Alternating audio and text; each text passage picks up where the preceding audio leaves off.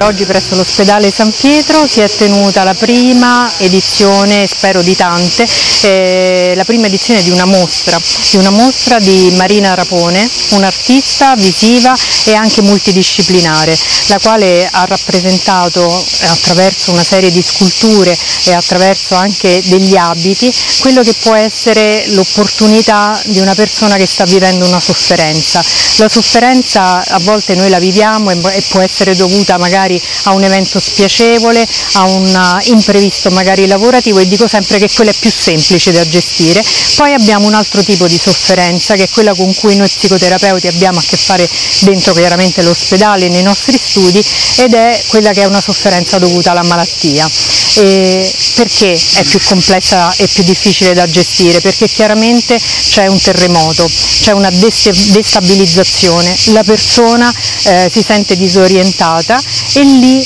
può avere l'opportunità, tolto il primo momento della diagnosi e tolto il primo momento anche del essere indirizzata alle terapie del caso, eh, può essere l'opportunità per attivare un cambiamento, un momento in cui l'attenzione ritorna su se stessi attraverso la sofferenza, ma fa della sofferenza la possibilità di stare meglio. Eh, questo io lo dico sempre oggi Marina Rapone lo ha rappresentato nel suo evento e nella sua mostra perché durante il periodo della chemioterapia, un periodo per lei difficilissimo, ha potuto realizzare molto traendo praticamente l'ispirazione dal mare e eh, utilizzando, come ha spiegato durante la mostra, quelli che possono essere i materiali di risulta, quello che il mare offriva e aggiungendone ovviamente di propri. Eh, è un po' l'esempio questa mostra di quello che tutti dovremmo fare quando eh, qualcosa non va o quando, come dicevo, la malattia eh, destabilizza e devasta la nostra esistenza, ovvero cercare di capire quello che noi siamo, cercare di capire quale può essere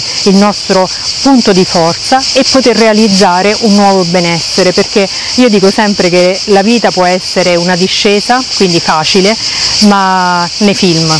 Il più delle volte invece è densa di ostacoli e quelle sono le nostre opportunità. Eh, sembra una fase fatta ma in realtà è l'occasione per poter eh, in qualche modo rialzarci, recuperare una nuova, una nuova vita e forse quella più veritiera e che ci fa uscire quelle che sono le nostre competenze le nostre consapevolezze.